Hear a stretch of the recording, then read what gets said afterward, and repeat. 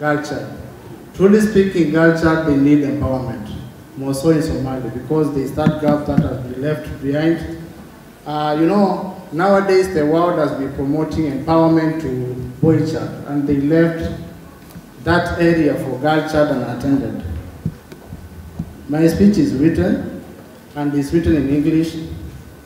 I just beseech you guys to give me a lengthy ear.